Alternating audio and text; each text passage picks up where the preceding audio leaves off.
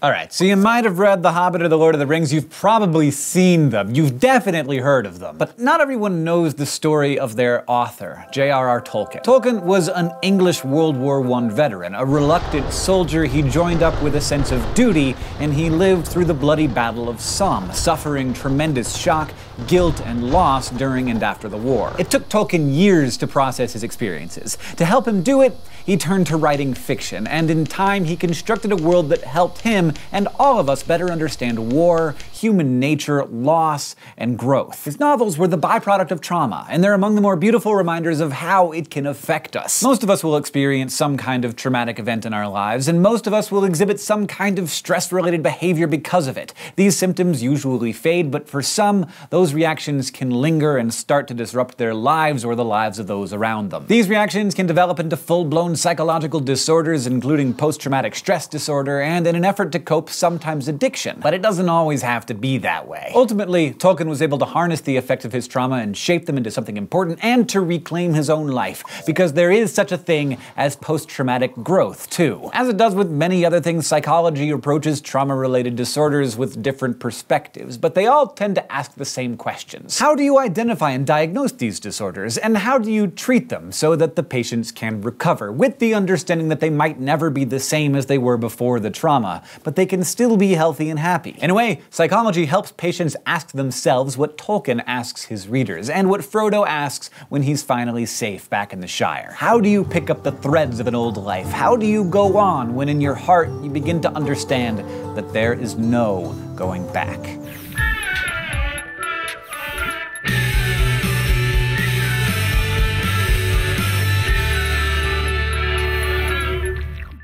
It could be September 11th, or a serious car accident, or a natural disaster, or a violent crime that you survived but are still haunted by. Trauma comes in many different forms, and sometimes it can stick with you. When it manifests as nightmares, flashbacks, avoidance, fear, guilt, anxiety, rage, insomnia, and begins to interfere with your ability to function, it can come to be known as post traumatic stress disorder, or PTSD. It was once called shell shock, a term used to describe the condition of veterans like Tolkien in World War I, but PTSD isn't limited to veterans. It's defined as a psychological disorder generated by witnessing or experiencing a traumatic event. Its symptoms are classified into four major clusters in the DSM 5. One of these clusters involves reliving the event through intrusive memories, nightmares, or flashbacks. The second involves avoiding situations you associate with the event, while the third generally describes excessive physiological arousal, like heart pounding, muscle tension, anxiety, or irritability, and major problems sleeping or concentrating. Finally, we have the fourth major symptom cluster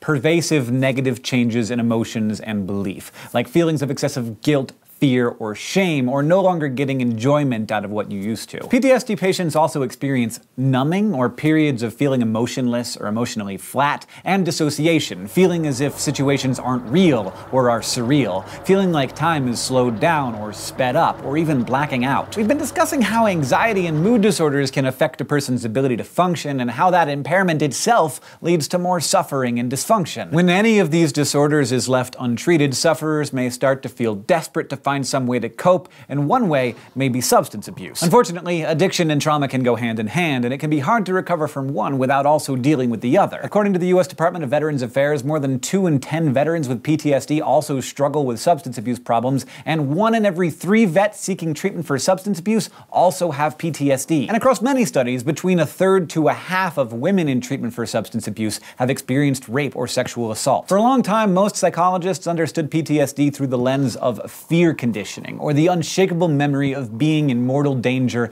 and the learned responses that stem from that memory. But clinicians have also begun to recognize that for some, the disorder can also be a kind of moral injury, widening the focus to include hauntings not just of violence done to a person, but also what that person did or did not do to others. Brandon was a combat drone operator in the Air Force. He enlisted at 21 years old and spent six years sitting in a bunker in the American Southwest watching Iraq and Afghanistan from surveillance drones drones. He watched soldiers die and people get executed. He also watched kids play, people get married, goats grazing. And when the time came, he ordered Hellfire missiles to strike military targets or people who had no idea they were even being watched. Although he was half a world away from combat, he ultimately suffered the psychological trauma felt by many on the ground soldiers. He was diagnosed with PTSD. Brandon suffers no fears for his own safety, but still experiences the same intrusive memories, nightmares, depression, anxiety, and substance abuse of many emotionally traumatized combat soldiers.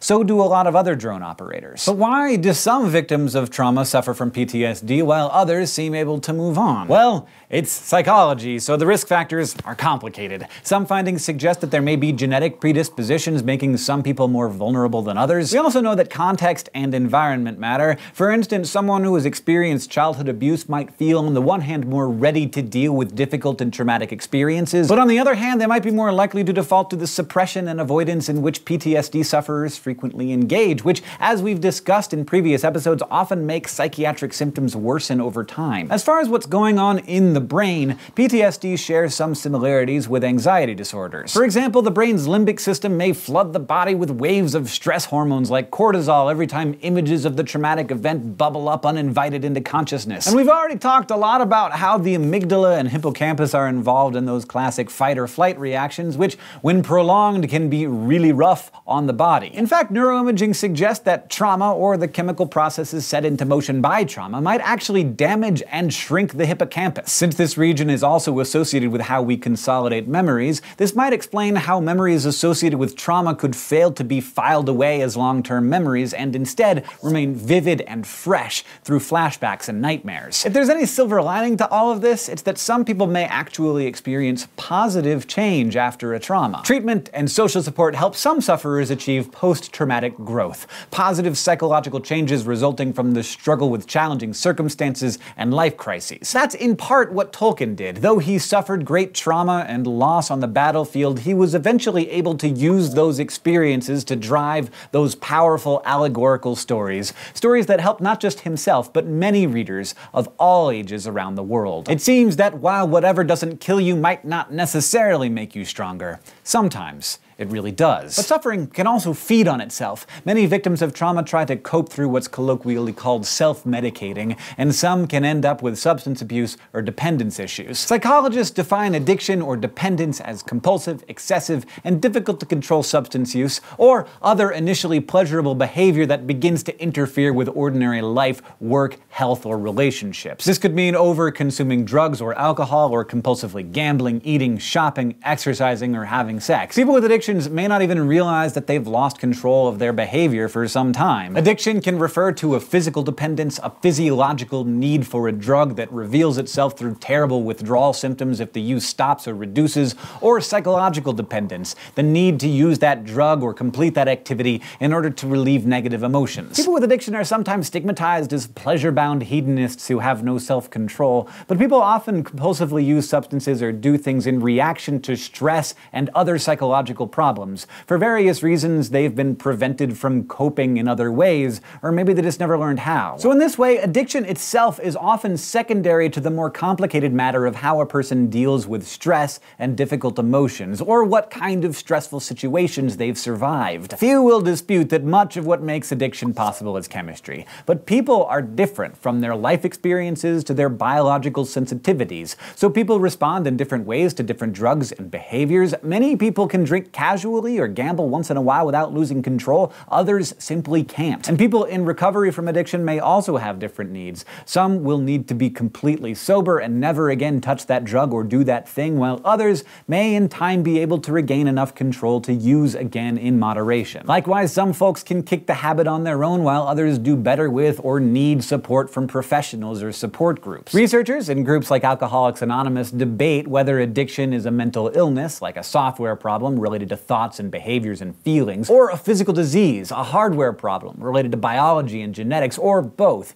and even whether addiction and dependence are the same thing. Either way, it can be hard to recover from an addiction if you don't get the underlying problem treated. But some people believe that you can't treat the underlying problem without first getting the addiction out of the way. While this controversy too continues, many are moving toward a model of treating both at the same time, the so-called dual diagnosis model of treatment. Addiction that's rooted in deeper psychological issues, especially in emotional trauma like PTSD, often require some version of dual treatment to untangle both issues. The good news is, while PTSD and substance dependence may be distressing and complex, people can begin to heal given the chance and the resources. We're amazingly resilient creatures. When nurtured with the proper support and practice, we can overcome a lot. Today, we talked about the causes and symptoms of PTSD and how trauma can affect the brain. We also looked at addiction, physical and psychological dependence, the relationship between trauma and addiction, and why they can require dual treatment. And we touched on post traumatic growth